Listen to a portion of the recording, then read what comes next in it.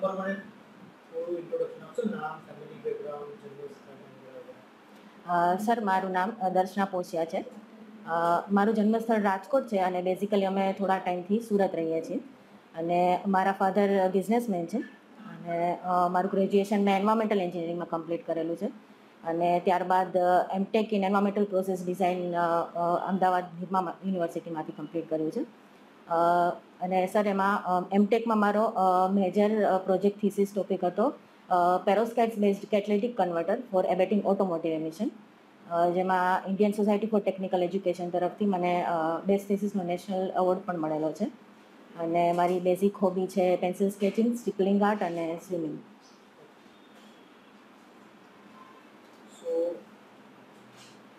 Request તમે mask કાઢવામાં અનુકૂળતા રાખતી તો તમે માસ્ક કાઢી શકો છો.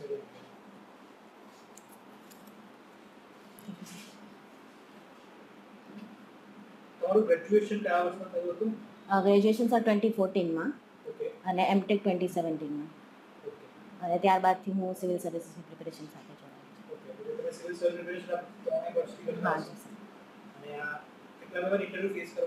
second time ten number advertisement last time હા જી સર ઇન્ટરવ્યુ થોડું ટફ હતું. મતલબ એન્વાયરમેન્ટલ એન્જિનિયરિંગ મારું બેકગ્રાઉન્ડ છે તો એના તરફ વધારે ઇન્ક્લાઇનેશન હતું પ્લસ પ્રેક્ટિકલ થોડા ક્વેશ્ચન પ્રેક્ટિકલ સાઈડ વધારે હતા. તો એમાં મારું જોબ નથી મેં કરેલી. તો થોડું વધારે ટફ રહ્યું હતું. તમે બીટેક કર્યું બી કર્યું પછી એમઈ કર્યું કે એમટેક કર્યું એમટેક એમટેક કર્યું?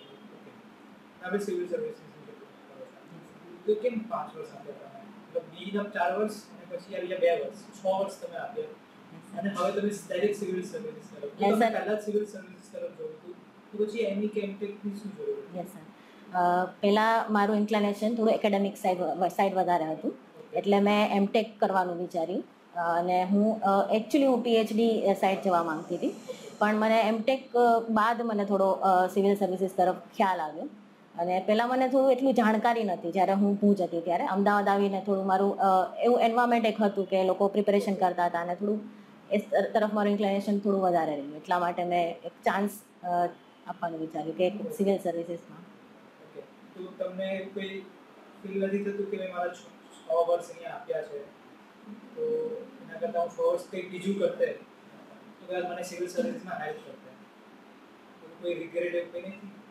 ના સર હવેની સિચ્યુએશન જો હું જોઉં છું તો મને એવું લાગે છે કે જે કન્ટ્રીની અથવા તો ઓલ ઓવર વર્લ્ડની જે એન્વાયરમેન્ટલ કન્ડિશન જે બગડી રહી છે અને જે જે ઇનિશિયેટિવ લઈ લેવાઈ રહ્યા છે દેશ તરફથી કે રાજ્ય તરફથી પણ તો એવું લાગે છે કે મારું પણ થોડું એમાં કન્ટ્રીબ્યુશન રહેશે પોલિસી ઇમ્પ્લિમેન્ટેશનમાં કે પોલિસી મેકિંગમાં એક અપર લેવલ તો હું મારું આપી શકીશ યોગદાન. તમે સુરત કેટલા ટાઈમથી રહો છો? સુરત છેલ્લા દસ વર્ષથી. દસ વર્ષથી રહો છો. એટલે લગભગ બે હજાર દસ અગિયાર પછી હા સર. અને તમારું ગ્રેજ્યુએશન તમે કઈ કોલેજમાંથી કર્યું હતું? ગવર્મેન્ટ એન્જિનિયરિંગ કોલેજ ભુજમાંથી. ભુજમાંથી કર્યું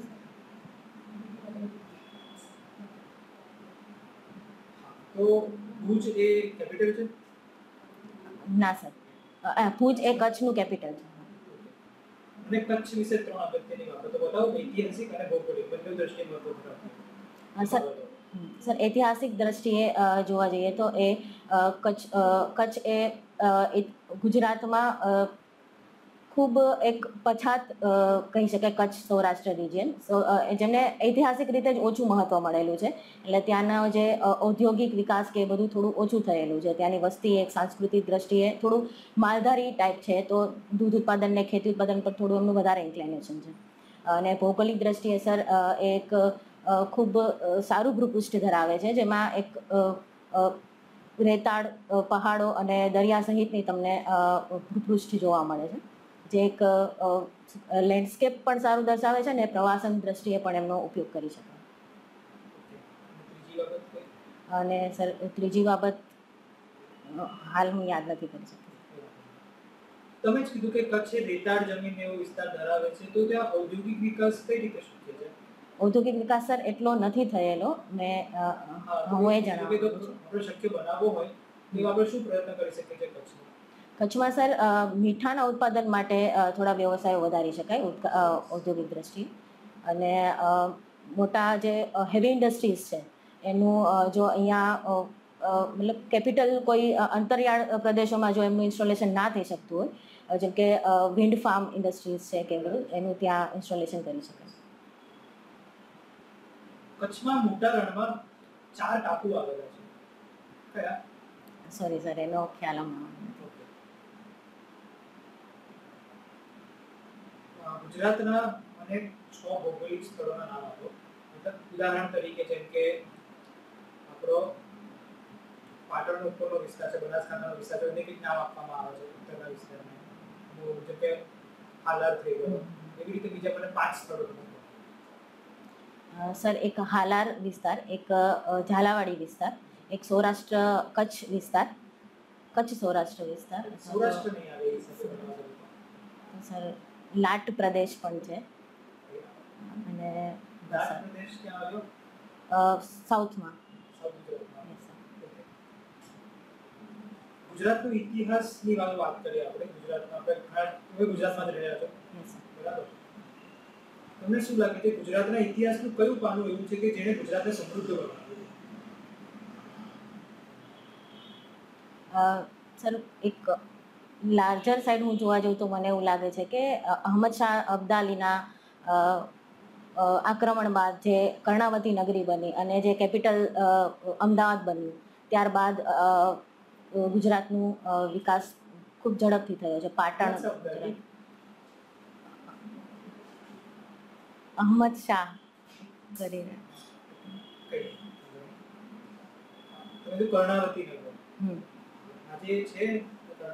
ના સર હવે અત્યારે અમદાવાદ નામ આપેલું છે. અમદાવાદની સ્થાપના કોણે કરી હતી? અહમદ શાહ અહમદ શાહ. જ્યાં સુધી હું યાદ કરી શકું છું ત્યાં સુધી સર. સ્ટોરી યાદ છે તમને અમદાવાદની સ્થાપનાની? એક સ્ટોરી જનરલી બધા જ નાનપણથી સાંભળતા હોય છે. અમદાવાદની સ્થાપનાની સુંદર સ્ટોરી છે. હા સર એક પંચ પંચતંત્ર ટાઈપ સ્ટોરી જે તમે વાત કરી રહ્યા છો કે સાપ અને નોળિયાને લઈ અને ઓકે તો એ મને ખ્યાલ નથી સર.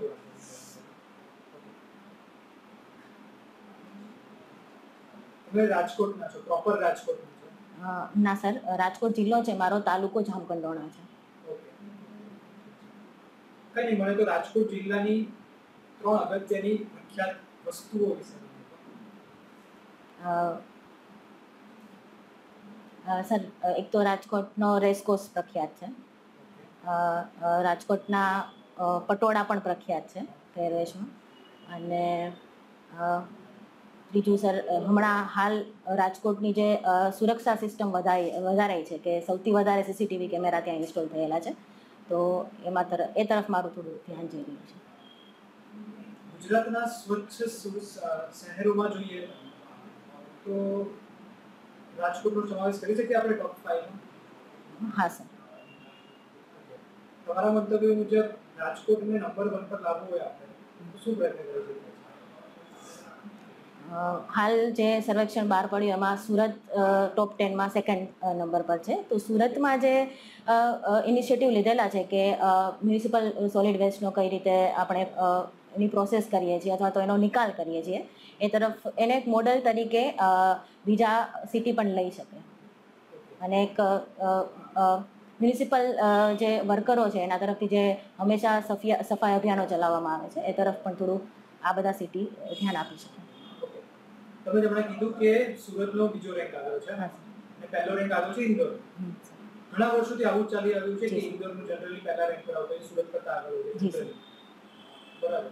તો આ વખતે શું થયું? તો સુરત હજુ પણ બીજા નંબર પર હતું સર એક મોટા લેવલ પર હું વિચારી શકું તો એક થોડો બિહેવિયર ચેન્જની પણ જરૂર છે પબ્લિકે જે ઇન્દોરના પબ્લિક જે છે જનરલ પબ્લિક એમને એક સ્વીકારેલી છે કે કચરો ઘરથી જ થોડુંક ડિસ્ટ્રીબ્યુ થોડું લીલો કચરો ભીનો કચરો અલગ કરીને આપવો અને જે આપણે અહીંયા થોડું સ્વીકારતા થોડી વાર થશે તો એમાં પણ આ વ્યવસ્થા ચાલે છે પણ લોકો ચાલે છે પણ લોકો થોડો ફોલો એટલે બિહેવિયર થોડો ચેન્જ કરવાની જરૂર છે.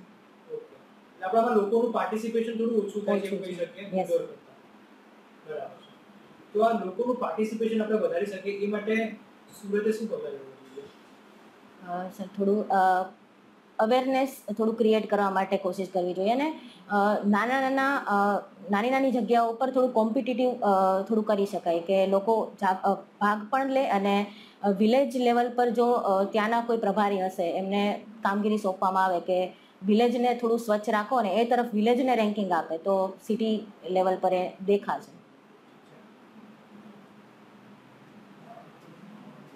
સુરતમાં છેલ્લા દસ વર્ષથી રહો છો એવું તમે હા સર અ, તો સુરતમાં તમે અત્યાર સુધી છેલ્લા દસ વર્ષમાં શું પરિવર્તન જોયા? છે તમે જ્યારે અહીંયા આવ્યા હતા સુરતમાં કારણ કે તમે જ્યારે સુરત આવ્યા છો ત્યારે તમને ખબર છે સુરત કેવું છે. અત્યારે સુરત કેવું છે? શું પરિવર્તન દસ વર્ષમાં. સર એટલે મારું લોકેશન થોડું કામરેજ સાઈડ છે, તો સુરત વિશે એટલું હું એટલું જનરલ આવવા જવાનું નથી, પણ હું મોટું એક પરિવર્તન જોઈ શકું તો એ છે, થોડું પીપલમાં લોકોમાં અવેરનેસ આવી છે ટ્રાફિક માટે, કે ટ્રાફિક રૂલ્સ થોડા ફોલો કરવા. અને જે પેનલ્ટી કે કોઈ પણ એના રિલેટેડ હોઈ શકે કે એ કારણ હોઈ શકે કે પેનલ્ટી હમણાં વધારે લેવાઈ રહી છે કે કંઈ પણ. અને એક સ્વચ્છતા એક મોટી દેખાઈ રહી છે કે સ્વચ્છતા તરફ ખૂબ ધ્યાન અપાઈ રહ્યું છે. અને આપણે sir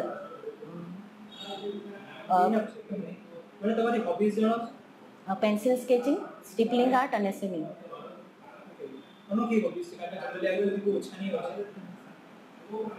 તો સ્વિમિંગ માટે મને સ્ટાઇલ વિશે જણાવો. Swimming style sir mainly freestyle હોય છે અને બટરફ્લાય સ્ટાઇલ અને બેક સ્ટ્રોક અને સાઇડ સ્ટ્રોક પણ કહી શકાય.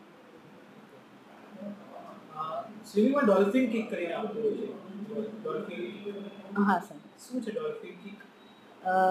સર કેટલી ઊંચાઈએથી એ સ્વિમિંગ કરે એ મને ખ્યાલ નથી બટ આગળ સ્ટ્રોક કરવા માટે એનો એકચ્યુઅલી મને એની ટર્મિનોલોજી ખબર. Okay sir. Thank you sir. Uh, hobby I will continue you are comfortable comfortable Gujarati? Yes Gujarati. Yes Gujarati. હા તો હું સ્ટેજ કન્ટિન્યુ કરીશ. તમે પેન્સિલ સ્કેચિંગ અને સ્ટિપલિંગ આર્ટ પણ મૂક્યું છે તમે મને ટાઈપ્સ ઓફ પેન્સિલ્સ જણાવશો? The pencils that you use હું generally one H two B four B six B eight B એ એક બોલ્ડ સાઈડ અને એક જો હા પેલું એચ સ્ટ્રોકમાં કહું તો વન એચ અને એચ બી અને ટુ એચ જનરલી ઓકે એક મિકેનિકલ પેન્સિલ કરીને પણ એક વસ્તુ આવે છે. શું હોય મિકેનિકલ પેન્સિલ મેમ એમ એક લીડ એમાં ડાયરેક્ટ ઇન્સ્ટોલ કરવાની હોય મિકેનિકલ પેન્સિલમાં અને જે આ જનરલ હોય એ એનું સ્ટ્રક્ચર એ વુડનમાં ફિટ કરેલી હોય ગ્રેફાઇટ પેલું આપણે પેન્સિલ મેટાલિક પેન્સિલ હોય એની અંદર ઇન્સ્ટોલ કરેલી હોય અને charcoal pencil ma'am actually charcoal પેન્સિલનો મેં યુઝ નથી કરેલો પણ ચારકોલનો યુઝ કરેલો છે કે ડાયરેક્ટ ગ્રેફાઇટનું એક કન્ટેન્ટ ચારકોલ જ મળે. એને થોડું સ્પ્રેડ કરી અને શેડિંગ કરી શકાય. એક સિચ્યુએશન અગર હું તમને આપું યસ મેમ કે તમારી પાસે એક કાર છે તમે કારમાં જઈ રહ્યા છો અને બહુ જ વધારે વરસાદ પડે છે બહુ જ. You come across a bus stop bus stop પર દેર આર થ્રી પીપલ એક છે એક બહુ જ વૃદ્ધ લેડી છે. એમ તમે જુઓ તો એમ એટલે બહુ એટલે કોઈ પણ ટાઈમે જતી રહે એટલે બહુ જ વેરી ઓલ્ડ વેરી ઓલ્ડ પછી એક બીજી તમારી ફ્રેન્ડ છે જેને તમે જેને તમારી લાઈફ સેવ કરી હોય પાસ્ટમાં અને there is one more man જેને તમે જોઈને તમને એવું લાગે કે હા this can be my partner આ ત્રણમાંથી તમે એક તમે એકને જ તમારા કારમાં રાઈડ આપી શકો. તમે કોને ચૂઝ કરશો? મેમ મારી પસંદગી એ ઓલ્ડ વુમેન તરફ જશે. કેમ કે એક લાઈફ સેવિંગની મને એક મોકો મળે છે લાઈફ સેવિંગનો પ્લસ એને જરૂરિયાત છે અને ચાલુ વરસાદમાં વાહન નથી મળી શકતું જે તે ટાઈમે તો એક લાઈફ સેવિંગ એ એનાથી વધારે ત્યારે મને કંઈ નથી લાગતું એ સિચ્યુએશનમાં એટલે હું એની એમની મદદ કરવા માંગુ છું. અને તમે પોતે ગાડીથી ઉતરી જાઓ અને બીજા કોઈ બેને આપી દો સિચ્યુએશન? હા હા મેમ એટલે હું કોઈ કામ માટે ઇમ્પોર્ટન્ટ કામ માટે જઈ રહી હોય તો મારી કામની પ્રાયોરિટી તરફ મારું થોડું વધારે ખેંચાણ રહેશે. અને સાઈડ બાય સાઈડ હું કોઈને લિફ્ટ આપી શકું તો જેમ કે હું ઓલ્ડ લેડીને મદદ કરવા માંગીશ તો એ રહેશે. પણ જો ખરેખર જરૂરિયાત હોય મારા ફ્રેન્ડને કે અથવા તો જે તે મેલ કાઉન્ટર પાર્ટને તો હું એ પણ કરી શકું કે જો એમ કમ્ફર્ટેબલ હોય ગાડી ચલાવવા માટે તો જઈ શકે ને ફરીથી. આપી શકે તમને ખબર છે સ્વોટ એનાલિસિસ શું મેમ મને? ફૂલ નેમ નથી ખ્યાલ પણ એક એક ખ્યાલ છે કે એ એડમિનિસ્ટ્રેશન અથવા તો કોઈ પણ જગ્યાએ ભૂલોને ચેક કરી અને રિઝોલ્વ કરવા માટે એક સ્વોટ એનાલિસિસ કરવામાં આવતું સ્વોટ એનાલિસિસનું ફૂલ ફોર્મ હોય સ્ટ્રેન્થ વીકનેસ હા. ઓપોર્ચ્યુનિટીઝ અને થ્રેટ્સ એ સ્વોટ એનાલિસિસ તમે પોતાનું કરીને મને જણાવશો? એટલે તમારી બે ત્રણ સ્ટ્રેન્થ તમારી એક, બે, ત્રણ જેટલી વીકનેસ તમને ખ્યાલ હોય અને તમારા માટે શું ઓપોર્ચ્યુનિટીઝ છે અને તમને શું થ્રેટ છે? એ મને તમે તમારું સ્વોટ હાલ કરીને મેં મારા સ્ટ્રેન્થની વાત કરું તો હું એક ડિવોટેડ માણસ છું કે કામ પ્રત્યે ડિવોટેડ છું કે જે હું કરું એમાં હું મારું પૂરું આપું. બીજું છે મેમ કે એક કોન્ફિડન્સ સેલ્ફ કોન્ફિડન્સથી પણ હું કામને કરવા માટે વધારે પ્રેરાઉં છું, મારા પોતાના સેલ્ફ કોન્ફિડન્સથી અને મેમ આ મારી સ્ટ્રેન્થ છે. અને વીકનેસીસની હું વાત કરું તો ક્યારેક શોર્ટ ટેમ્પર્ડ થઈ જવાય છે. જ્યારે કોઈ સિચ્યુએશન એવી આવે તો એને હું થોડું હેન્ડલ કરવાની કોશિશ કરું છું, પણ છતાં ક્યારેક થઈ જવાય છે. અને એક વીકનેસ છે મેમ કે ક્યારેય ક્યારેક કંઈ અચીવ ના થાય તો થોડું એક ટાઈપ ઓફ ગિલ્ટ ફીલ થાય છે ક્યારેક. અને મેમ એને હું રિઝોલ્વ કરવાની અથવા તો એને સ્ટ્રેન્થ વીકનેસીસ દેન ઓપોર્ચ્યુનિટીઝમાં મને એવું લાગે છે કે હું આગળ જાઉં સિવિલ એડમિનિસ સિવિલ સર્વિસીસમાં જઈશ તો મારું જે પાછળનું નોલેજ છે એમાં મને ટાઈમ વેસ્ટ કર્યાનો રિગ્રેટ ના થાય. એના માટે હું કંઈક ને કંઈક ઇનિશિયેટિવ લેતી રહીશ. અને તમે શોર્ટ ટેમ્પર્ડ કીધું તો સિવિલ સર્વિસીસમાં શોર્ટ ટેમ્પર્ડ યસ મેમ એ બહુ what are you doing to work on your short ટેમ્પર્ડનેસ ma'am તમે હું ઘણા હા મેમ હું ઘણા ટાઈમથી કંઈ પણ એવી નાની નાની વાતમાં શોર્ટ ટેમ્પર થઈ જતો જેમ કે ઘરમાં હોય કે અથવા તો ફ્રેન્ડ સાથે હોય તો. હમણાં થોડા ટાઈમથી હું બહુ એની કોશિશ કરું છું કે હું મારી જાતને રોકું. જે તે ટાઈમે ગુસ્સો આવતો હોય તો હું એ રોકવાની કોશિશ કરું અને એમાં બધા ફ્રેન્ડ્સ કે ફેમિલી મેમ્બર્સ તરફથી પણ મને થોડાક કોમ્પ્લિમેન્ટ્સ મળ્યા છે કે મેં કોશિશ કરી હોય. એટલે હું એ તરફ થોડું હા મેમ કંટ્રોલ કરવાની હું વધારે કોશિશ કરું કે જે તે ટાઈમે ના થાય તો સારું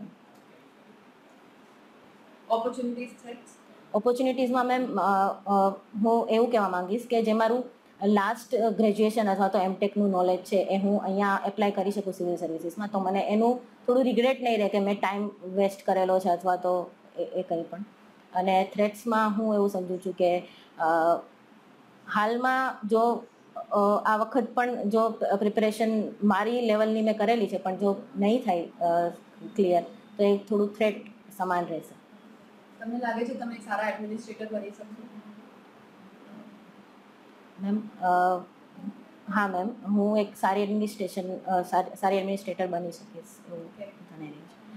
મેમ જેમ કે મારી સ્ટ્રેન્થની પણ મેં વાત કરી અને મારી વીકનેસીસની પણ મેં વાત કરી. તો એને બંનેને થોડું વીકનેસીસને ઓવરકમ કરી અને સ્ટ્રેન્થ તરફ વધારે ધ્યાન આપી અને એક લીડરશિપ ક્વોલિટી પણ મારામાં છે. તો મને એવું લાગે છે કે હું કરી શકીશ. કોઈ ત્રણ ચેન્જીસ જે તમે બ્યુરોક્રેસીમાં કરવા માંગતા હો? બ્યુરોક્રેસી એટલા જ જ્યાં છો ત્યાં કે સિવિલ સર્વિસીસમાં જ્યારે તમે સિવિલ સર્વન્ટ બની જાઓ એડમિનિસ્ટ્રેશન હોય આખું એડમિનિસ્ટ્રેશનમાં તમને શું લાગે છે કે કયા ત્રણ ચેન્જીસ કરવા જોઈએ? મેમ હાલમાં જે વધારે આપણે ઓનલાઈન સર્વિસીસ તરફ વધારે વધી રહ્યા છીએ તો એને જ્યારે ઓનલાઈન પ્લેટફોર્મથી આપણે સેવાઓ પૂરી પાડતા હોય તો એમાં કોઈ કચાશ ના હોવી જોઈએ. એમ, એના તરફ હું એક સોલિડિફાઈડ કરવા કરાવવા માટે એક પહેલ કરી શકીશ.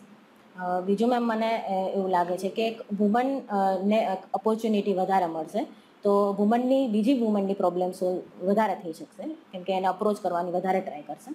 અને ત્રીજું મેમ મને જ્યાં સુધી જણાઈ રહ્યું છે ત્યાં સુધી કે એક ઇક્વાલિટી પણ એક લેવલ પર જળવાઈ રહેવી જોઈએ. જ્યાં ઓફિસમાં તમે છો ત્યાં. તો એ હજુ થોડું ક્યાંક લેક છે કે મેલ કાઉન્ટર પાર્ટ તરફથી એટલું ના રિસ્પોન્સ મળતું હોય તો એ થોડું ટ્રાય કરીશ. અને એડમિનિસ્ટ્રેશનમાં કરપ્શન પર તમારું શું ખ્યાલ છે? મેમ એડમિનિસ્ટ્રેશનમાં કરપ્શન મોરોલેસ અમુક ડિપાર્ટમેન્ટમાં દેખાતું હોય છે. અને ક્યારેક અમુક ડિપાર્ટમેન્ટે એને ઓવરકમ કમ પણ કરેલું છે. પણ જનરલી કરપ્શનને ઓવરકમ કરવા માટે જે પણ આપણી ઈ સર્વિસીસની પહેલો છે એ વધારે કામ લાગશે. અને જ્યાં સુધી મેમ મારું કરપ્શનના રિલેટેડ માનવું છે, તો હું મને એવું લાગે છે કે હું સ્ટ્રોંગ કર્મા બિલીવર છું. તો મને એવું લાગે છે કે ક્યાંક ને ક્યાંક તો એ તમને આગળ જતાં ઇમ્પેક્ટ કરે છે, જો તમે કરપ્શન કરેલું હશે તો. એટલે મારી થિયરી એ બેઝ થોડી વધારે છે. તમારા હિસાબે સિવિલ સર્વિસીસમાં પ્રેપરેશનમાં હાર્ડવર્ક વધારે ઇમ્પોર્ટન્ટ છે કે ઇન્ટેલિજન્સ બંને જ્યાં સુધી મેં ફીલ કરેલું છે ત્યાં સુધી બંને ઇમ્પોર્ટન્ટ છે. ફક્ત ઇન્ટેલિજન્સથી પણ જે જેમ કે હું રાઇટિંગની વાત કરું મેન્સની વાત કરું તો ફક્ત ઇન્ટેલિજન્સ પણ કામ નથી આવવાનું. હાર્ડવર્ક કરી અને રાઇટિંગ પ્રેક્ટિસ તો કરવી જ પડશે. એટલે બંને ઇમ્પોર્ટન્ટ છે. ઓકે આજના ઇન્ટરવ્યૂના પ્રેપરેશન માટે તમે એવી કઈ મિસ્ટેક્સ કરી છે જે તમને છે What mistakes have you done today hmm, મને એવું લાગે છે કે થોડું ગુજરાત વિશે મારે થોડું વધારે જાણવું જોઈતું હતું અને થોડું એડમિનિસ્ટ્રેશન વિશે પણ મારે થોડું જાણવું જોઈતું હતું thank you thank you ma'am आप थोड़े नर्वस लग रहे हैं मैम पानी पीना चाहेंगे नो सर पक्का? फाइन ओके ओके आपने एनवायरमेंटल इंजीनियरिंग किया है यस सर और कब किया था आपने ट्वेंटी फोर्टीन में क्या जॉब होता है અ, સર અ, એક એન્વાયરમેન્ટ એન્જિનિયર કોઈ પણ ઇન્ડસ્ટ્રીઝમાં વોટર એર કે નોઇઝ પોલ્યુશનના નિયં અ, જે કાયદાઓ છે એને જાળવી રાખે અને એનું વોટર જો એમિશનના કંટ્રોલને મેચ ના થતું હોય તો એમિશનની ટ્રીટમેન્ટ આપે અને એને ટ્રીટમેન્ટની એસઓપી પણ બનાવે જે સેમ સાઇડ એર પોલ્યુશનમાં પણ જે પણ સ્ટાન્ડર્ડ એમિશન નોર્મ્સ હોય એને જાળવવાની કોશિશ કરે અને સોલિડ વેસ્ટ જો જનરેટ થતું હોય ઇન્ડસ્ટ્રીઝમાં તો એને પ્યોર ટ્રીટમેન્ટ આપવાની કોશિશ કરે ओके सो एनवायरमेंट के बारे में आपको काफ़ी अवेयरनेस है ठीक है Yes, सो क्लाइमेट चेंज के बारे में अवेयरनेस है आपको યસ સર अभी रिसेंट मीटिंग हुआ है C O P twenty six का યસ સર ठीक है so मीटिंग होने जब खत्म हो रहा था तो मीटिंग में एंड में इंडिया ने अमेंडमेंट किए on behalf of developing countries yes sir जहाँ पे इंडिया ने बोला कि phase down of coal Yes, and sir. Phase out of coal hmm. ठीक है सो दोनों में आप डिफरेंस बता सकते हैं कि फेज डाउन और फेज आउट कोल क्या होता है અ, સર અ, જે અ, ભારત તરફથી જે ઇનિશિયેટિવ લેવામાં આવી રહી છે તો તો એમની જે અ, ધારણા છે કે ફેઝ આઉટ મતલબ કે અ, કોલનું સંપૂર્ણપણે અ, પણે બંધ કરવું ઉપયોગ કરવાનું અને ફેઝ ડાઉન મતલબ કે અ, અ, કોલને થોડું ઓછું કરવાની કોશિશ કરવી અને રિન્યુએબલ તરફ અ, વધારે જવાની કોશિશ કરવી ठीक है अ, आपने मैम को अ, बोला कि आप जब ब्यूरोक्रेसी में आएंगे तो आप उसमें से वुमेन एम्पावरमेंट के बारे में आपने मेंशन किया Yes, sir. कि आपको वुमेन को एम्पावर करना है अभी रिसेंटली एक सर्वे आया गया था periodic labour force survey 2019-20 yes sir जिसमें ये पता चला कि एग्रीकल्चर में वुमेन का रोल इंक्रीज होता है હા યસ ठीक है कि वो ज़्यादा इंक्रीज हो रहा है बट स्टिल उनको सर्टेन प्रॉब्लम्स आ रही है लाइक उनको इतना वेज नहीं मिल रहा है યસ સર वुमेन को रिकग्निशन नहीं मिल रहा है डिसीजन मेकिंग पावर नहीं मिल रहा है सो अगर आप पावर में आते हैं आप जब एडमिनिस्ट्रेशन में आते हैं तो आप क्या इनिशिएटिव ले सकते हैं कि एक वुमेन का एग्रीकल्चर में रोल इंक्रीज हो उनको हेल्प मिले इस तरीके से અ, સર એગ્રીકલ્ચરમાં વુમનના રોલને ડિફાઇન કરવા માટે હમણાં અ, એક સ્વામિત્વ સ્કીમ પણ ચલાવી રહી છે કે જેથી વુમનને પણ એક રેકગ્નિશન મળશે. જેમ કે એનું કાર્ડ હોલ્ડર મળશે કાર્ડ મળશે જે જે પણ એમની જમીન છે, અથવા તો જે પણ એમાં કામ કરી રહ્યા છે. તો એના તરફ એને યુઝ કરી અને લોન પણ એક્વાયર કરી શકશે. કેમ કે હાલમાં પ્રોબ્લેમ એવો છે કે જમીન મેલ કાઉન્ટર પાર્ટના નામે હોય, તો વુમન એમાં એનાથી લોન પણ ના લઈ શકે અથવા તો એના તરફથી કંઈ ઇનિશિયેટિવ ના આપી શકે. તો એક એ જનરલી હું ઇમ્પ્લિમેન્ટ કરવાની કોશિશ કરું. અને સર વુમન રિલેટેડ કોઈ બેંક વ્યવસ્થા જો એસએચજીસ તરફથી પણ એક બેંક વ્યવસ્થા જો અ, મળી શકતી હોય વુમનને લોન તરીકે તો એમાં મદદ કરી શકાય ओके सो मतलब आप क्रेडिट ज़्यादा देने का ट्राई करेंगे कि yes, कैश sir. ज़्यादा रहे तो ज़्यादा अच्छे से ट्रेड कर सके एग्रीकल्चर में યસ ओके ओके ठीक है अ, इसके अलावा आपको एजुकेशन सेक्टर में पब्लिक प्राइवेट पार्टनरशिप जो भी हमारे प्राइम मिनिस्टर ने अभी रिसेंटली बोला कि एजुकेशन में पब्लिक प्राइवेट पार्टनरशिप इंक्रीज करना है। तो उसमें कई सारे प्रॉब्लम्स है एजुकेशन सेक्टर में। फॉर एग्जांपल एक्सक्लूजन होता है। Hmm. बहुतों को एजुकेशन नहीं मिल पाता है। बहुतों ने एजुकेशन को एज अ कमर्शलाइज किया है यानी कि. बिज़नेस बना रखा है क्वालिटी कंटेंट नहीं दे पा रहे जो ऑब्जेक्टिव होता है। सो उसमें आप किस तरीके से अपना व्यू पुट डाउन करोगे कि एक पब्लिक प्राइवेट पार्टनरशिप हो सके સર પબ્લિક પ્રાઇવેટ પાર્ટનરશિપને પ્રમોટ કરવા માટે એજ્યુકેશન ફિલ્ડમાં એક એક્સક્લુઝન એવું જોવા મળે છે કે ફીઝ વધારે થઈ રહી છે ઇન્સ્ટિટ્યુશન્સની તો એક સ્ટુડન્ટ્સનું એક એક્સક્લુઝન જોવા મળે છે. તો એમાં સર રિજનલ પબ્લિકને અથવા રિજનલ સ્ટુડન્ટ્સને એક કોટા આપી શકાય કે આટલા પર્સન્ટેજ સીટ તમે રિજનલ સ્ટુડન્ટ્સને આપો અથવા તો ગરીબ સ્ટુડન્ટ્સને આપો. એમની જે પણ ઈડબ્લ્યુએસ સ્કીમ તરફથી કે tuition fee fee waiver scheme તરીકે પણ ये इम्प्लीमेंट कर पाएंगे एक और नया कोटा सोसाइटी में इंस्टीट्यूशन में સર લાર્જર બેનિફિટ જો આપણે ટ્રિપલ પીનો મેળવવો હોય પબ્લિક પ્રાઇવેટ પાર્ટનરશિપનો તો એક ઇનિશિયેટિવ એક એ લઈ શકાય અથવા તો રિજનલ સ્ટુડન્ટ્સ છે એમને અ, જો એમના અ, આર્થિક પરિસ્થિતિ પ્રમાણે ફી પણ ઓછી કરવામાં આવે તો પણ એક એ ઇનિશિયેટિવ લઈ શકાય ठीक है अ, इसके अलावा अभी न्यूज़ में रिसेंटली डेटा प्राइवेसी का काफ़ी ज़्यादा कंसर्न आ हाँ, रहा yes, है sir. पार्लियामेंट में बिल भी आया गया है personal data protection bill yes sir so उसमें बोला है कि जो नॉन पर्सनल डेटा है वो भी इंक्लूड करना है तो क्या आपको अवेयरनेस है नॉन पर्सनल डेटा क्या होता है નોન પર્સનલ ડેટા માટે સર હું સમજી શકું છું ત્યાં સુધી કે